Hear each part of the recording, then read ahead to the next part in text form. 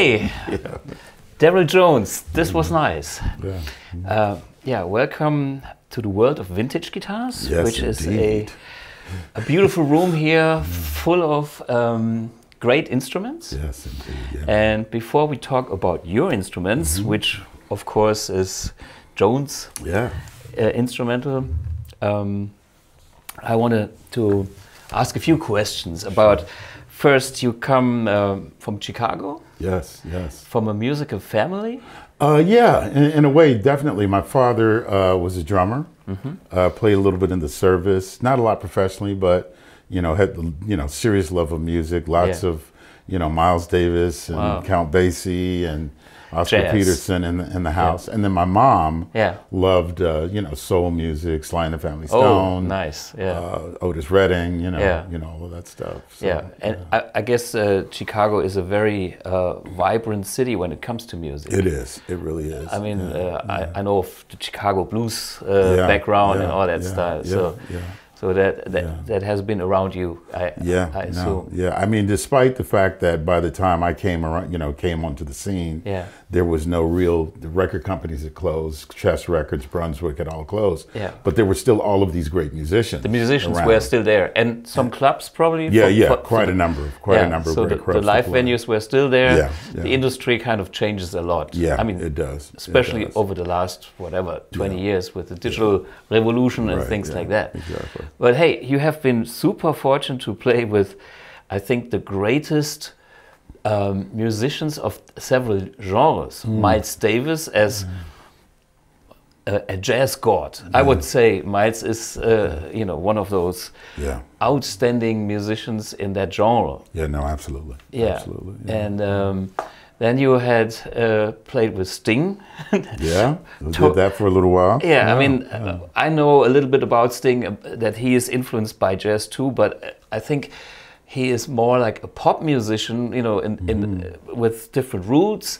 But um, I would consider him, you know, uh, the king of.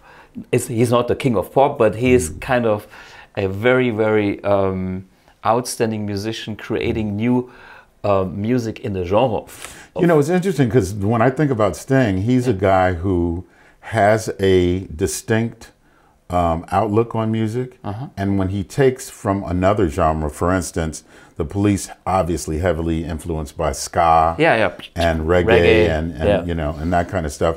And then so he creates his version of that music. Yeah. And then when he does Brazilian music like Fragile, Yeah. he creates his direction of that rock and roll Yeah. synchronicity and all of that kind of stuff. He seems to be able to move his sensibility around to several different kinds of music and it creates this kind of sting music. Yeah, You know, yeah, yeah. so he's really brilliant in that Yeah. an incredible lyric, lyricist and, Yeah, yeah, and a yeah. good bass player, you know. I Of course. people people sleep on that, but I think he's a really great bass player. And I- I've, I've, I've, I can imagine it's very hard to play the bass and sing on top of that. Yeah, no, having this kind of syncopated lines. Yeah. I mean, I couldn't do that. yeah, no, there's a few guys who are really great at it. Yeah. Obviously, Paul McCartney's Yeah. great at it. Larry Graham is also Yeah. great at it. Plays all of this great slap stuff and Yeah. sings incredibly. You know, so Yeah. Sting is among those guys who can, you know, who can who can pull it off. You know. Yeah, cool. And then um, you played with the, or still play with the Rolling Stones. Mm-hmm. Well, uh, of course, rock, probably rock gods. You know, some of the um, inventors of rock in a way. You know, I, I think all these, like three people you uh, played with, or bands you played with, they are on the forefront of pushing the boundaries of that musical genre. Yeah, that's true. So, so that- for me, it's impressive that you kind Mm-hmm. of, bam, made it to the top in three genres. Yeah, no, it's interesting how you know Yeah. how things turn out. But again, I really do think it goes back Yeah. to being in a in a household where there was more than one kind of music. Yeah.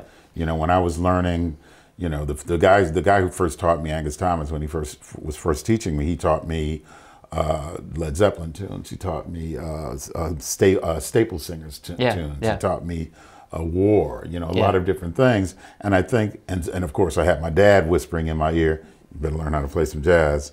So you know, I think that it kind of, in a way, prepared me to go out and and uh, and, and to work. Be ready for for, yeah, for that few different a genres. big spectrum Right, actually. yeah, yeah. Any contact with classical music? Uh, yeah, in high school. In high Ah. school, I did play with a with a high school orchestra. So you also And, uh, play the upright bass I and do. reading. Uh, I, I do, yeah. Um, Wow. It's I, you know I don't do a lot of that anymore, uh, but but I did. I was I studied with a very good teacher, Mm-hmm. a guy named Harold Siegel in Chicago uh, when I was a teenager. Yeah, so Yeah. a little bit of that, you know. And I love I love classical music. I love I'm I'm I'm uh, Ravel right now. I'm I'm totally Oh, yeah. into Ravel right now. Okay, oh how cool. If you compare, I mean, these three different genres, these th- three different characters, is there anything totally different? Or what is maybe similar and what is different? How these bands approach their music? Well, I think uh, for for me, I think the the what helps is that I just look at the song, whatever Yeah. the song is, and so if it's with Steps Ahead and it's a fusion song, Yeah. or you know, for lack of a better word, electric jazz song that requires you know some a little bit more facility, then I just try to play that song the best that I can.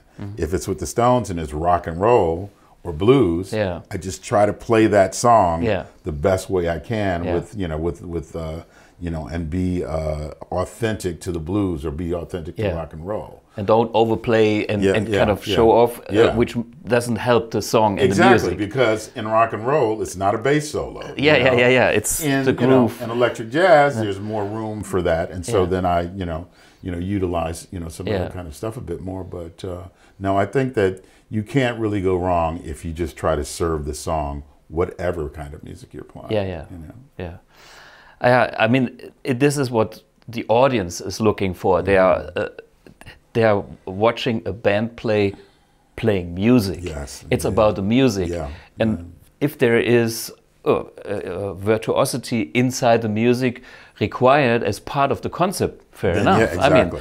I Paganini or you know, you name it. In Right, you right, know, right, you yeah. played with the the greats uh, of fusion and jazz. Mm-hmm, So uh, uh, um, that that element is important in that kind of music. absolutely, But in in the Rolling Stones, I guess it is uh, to to get the.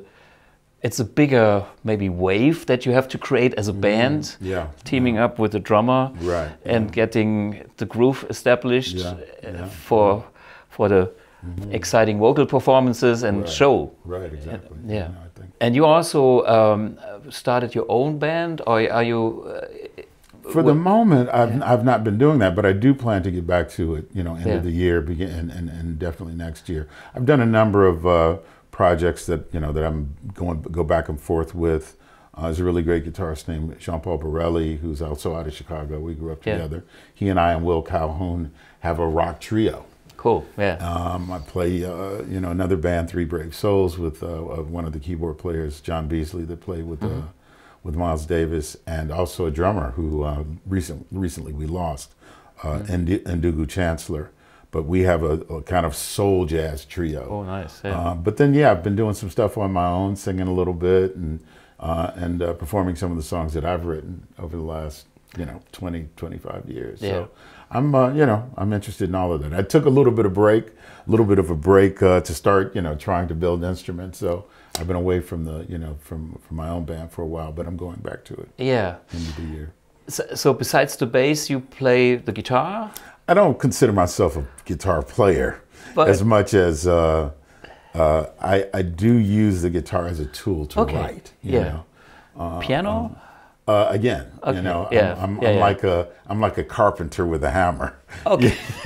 I use the piano as a you know functional. Yeah, yeah, And I can you know, I, you know I can pl- I play guitar well enough to lay down a a, a, a, a, nice you know rhythm Chords guitar part and, and- you know and keep like- the same thing with piano. Um, like my friend Victor Bailey used to say, I can't sing that well, but I can punch my ass off. That's a good one. Yeah, yeah, super cool. And um, now you you are creating your own instrumental um, instrument brand. Yeah. Um, so when did you start that project or that company? Well, uh, quite a number of years ago, um, uh, a builder named Albey Balgochian built an instrument for me. It's very kind of unusual, carved top, a flame maple. It doesn't have any magnetic pick pickups, and it's got a transducer Mm-hmm. under the wooden bridge that he built. This is a you know completely completely custom instrument. Mm-hmm. Well, we did that one together, and after a few years, we started looking at the price of pre-CBS Fenders going up and up and up Through the roof, yeah. and we were thinking, you know, you know, a kid who's you know who's you know works at McDonald's, he's never going to be able to afford yeah. a '66 jazz bass, you know. Yeah. So we decided let's make something that's kind of influenced by those instruments, Yeah. but that is a little bit more you know, Affordable. within you know Yeah. within the, the you know the, the the range of of a kid who could work at you know you know fast food restaurant for a year or two and be able to afford an instrument like that. So we came up with the instrument that eventually became the instrument we licensed to Lakland. Okay. And so we worked on that instrument for quite a while before we uh, before we uh, put it out on our on our on our own, and then went with Lakland to you know, license it to Lakland. So that's what really started, the spark Yeah. for me of designing instruments. Um, and then a number of years later, I was teaching at Musicians Institute in Right. Los Angeles. Yeah. And somebody told me, says, you know, now that you've taught here, you can take any course. And I remembered a guy at the Fender Custom Shop, Dave. I can't remember Dave's last name, but Yeah. he told me, he says, uh, you know, there's a, a luthier uh, Course. course. Ah, so you, you took so the I class took there. the I took the course. I didn't finish it because, of course, I got called for a gig and I had to leave town. important. You know, More important, Yeah, but- you know. yeah. But I did come back in time to build my my my uh, first instrument. Of you know, the, Yeah. built an instrument every semester. And after uh, I built it, I took it to the head of the department, a guy named John Carruthers, who's been building and working and repairing for everyone. There's nobody who I've played with who he doesn't have a story about. Oh, I worked for him, the Yeah, Stones, yeah, Keith Richards, You know, he's worked with everybody. Uh, and uh, so that's where Jones Musical Instruments started. We Right. built that instrument. I went on the road and started playing it with the Stones, and decided that I wanted to, you know, to get into it. And I, you know, as as kid, as kids, you know, you you, you love guitars, Of course. And I think we've never grown out of it. No, I think we no, all, it- you know, It's a bug that never stops. yeah, you know, Uh, so when when you work on your instruments, what is kind of your philosophy? What is kind of important to you? Yeah. And uh, I mean, yesterday when when we spoke about whatever the, the the the fretboard radius, for. Yes, instance, is like you. You, you kind of like the vintage radius, Yeah, and, and yeah. why? I think because I grew up playing Fender instruments. Yeah. I really think that It's I, muscle memory in your hands. Exactly, with exactly. And I think, you know, just generally speaking, yeah, um, I grew up playing, uh, you know, Fender Mustang, 19, probably 60s, 69, 70 Fender Mustang with the competition Yeah. stripes. yeah, And, uh, and then later on a jazz bass. Uh, I think that, you know, the uh, Leo Fender and the guys who worked around him, when we look at, you know, the instruments that are still around today and are still popular today, he got a lot of stuff right. He got almost everything right. for me, he's know. he's he's actually almost a genius. Yeah, If you look back at what has been there before, Mm-hmm. and for instance, like I'm a Strat guy, that's my 61 Yeah. Strat. I, I, beautiful. It's like your That's age. beautiful, yeah. Probably the same month. We don't know. Yeah, yeah, right. You know, that's, Um, that's I should clean it, but anyway, Mm-hmm. um,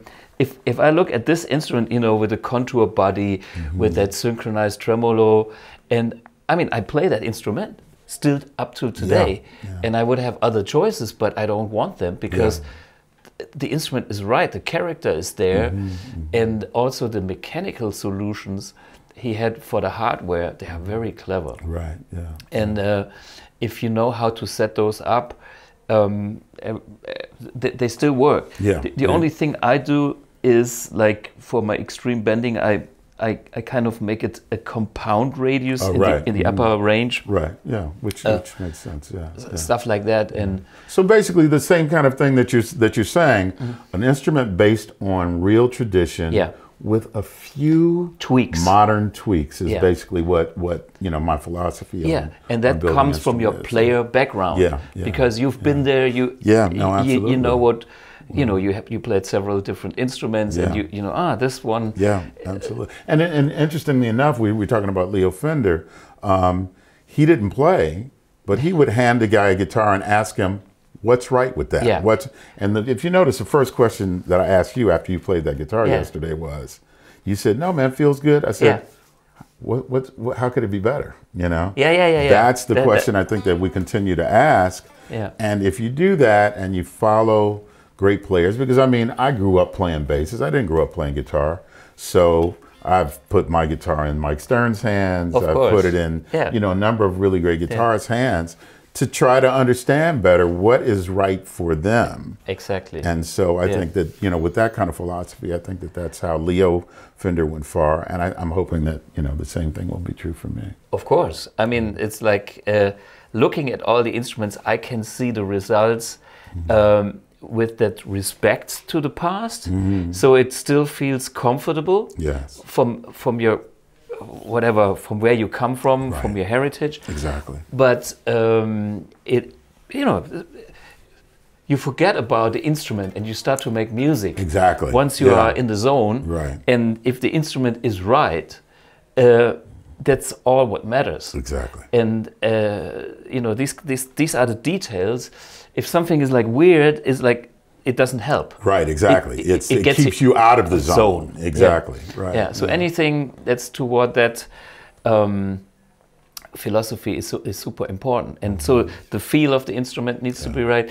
Um, you seem also to have a uh, a big color thing going on. Yeah, I, I did colors. we talked yeah. about this some color. more than others, but yeah. yeah, Uh, yeah, but it, I think it's also important in a way it is. because it, it sets the mood. A, Yeah. a, a color is is mood. It's Yeah, like no, it's the atmosphere. Right, right. And uh, and this this is kind of a, a matte finish. Yeah. Um, and uh, what's the color? Uh, It's called mineral gray. It's Mineral actually gray. it's actually uh, it was taken from a BMW color. I, I for a while I drove a BMW M3, Yeah. which I still really miss. well, Uh, but- I, I do have a, a BMW 3, but mine is boring black. Oh, yeah, all right. Yeah. Don't use that color. yeah, yeah. But. Uh, this is a this is a or at least inspired by the mineral, gray sure. Mm, from BMW. So we call it mineral, mineral gray, gray. but this is mineral gray with a matte finish. Yeah, nice. Yeah. Yeah, matching headstocks. Yeah, that, yeah. That's, that's another thing that was, uh, even though the first Fender uh, jazz bass that I played wasn't didn't have a matching headstock, something about the 1966 jazz basses with matching headstocks magic. was a thing for me. Yeah. So I I think when I think about how many I don't know how many basses I've made now, but I've only made one with a natural headstock, and it's a it's like a precision sunburst type Mm-hmm. Yeah. instrument. Well, it's, it's being talking about Fender basses and like, are you the jazz guy, jazz uh, bass guy, or the P bass guy? Well, you know, early on, Yeah. uh, the jazz bass. Yeah. Uh, because I was playing music that was a little bit more electric jazz, Yeah. a little bit more, Yeah. you know, pronounced tone, a little bit, you know. But then as I got into playing more rock and roll, then I moved over to a P bass. So I use both for, for, for, for, for, for, for all sorts of things now. Right. But uh, yeah, I'm probably in rock and roll, probably a little bit more of a, a P. I also, you know, the Fender Mustang, man, is another instrument Okay. that I've kind of gone back to. Uh, there's something about the string tension that changes When it's with uh, the short scale, Short scale, yeah. and uh, like with the Stones, I use a I use a uh, a bass just like the one that I grew up playing, red competition, Mm-hmm. Ah, uh, yeah. uh, competition red Yeah. with the stripes.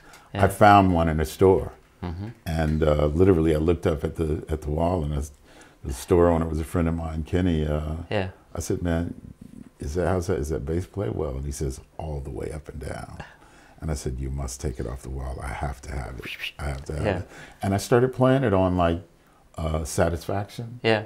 and Start Me Up Yeah. and some of these tunes. And of course, Bill Wyman, Yeah. the original bassist Yeah. with the Stones, So- he played short scale basses a lot. yeah, yeah. You know, so I think there's a sound there. So It, it, it's maybe um, more melodic in a way. Uh, I, I mean, melodic is the right, uh, is not maybe, the, but it's not as low. Yeah. It- so it has kind of a different mid range to it. Yeah, Scott, I, there's something about the way the mid range uh, uh, uh, speaks. Speaks, yeah. You know, and uh, and with a pick and some Yeah. flat wound strings, you can really get to some stuff. You know, and it it it projects in a different way than the bigger basses do. Yeah, know, yeah, And it's yeah. perfect for some of that kind of Yeah, stuff. Yeah, of course. Yeah, It- and and the instruments uh, the, the choice of the instruments are so important to make a band sound great. Mm. Yes, I mean, you you know, whatever chops you play, if if the sound is not right, yeah. you, you you kill Yeah. the whole thing. Exactly. Yeah. Exactly. Yeah. yeah. And uh, so, so for me, uh, tone and sound is so important, Mm-hmm. and and the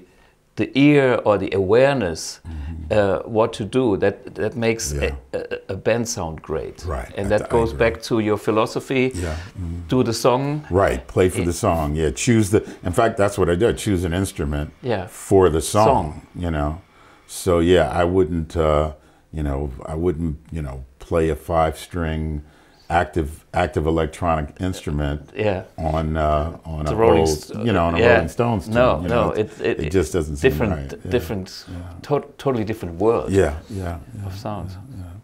Hey, Darryl, I think this was super fascinating Mm-hmm. Oh, man, insights. Yeah. Um, yeah, we we are um, we are happy to see these instruments here at the number one Yeah, store in Hamburg. Um, of course, all the guys should check out your website. Yeah. Um, and of course, if you have the chance to see him live, Yes, man, indeed. It's- and we're going to get a chance to play a little bit later this week, so I'm looking forward to it, man. I always love playing with you. okay. Hey, All right. cheers.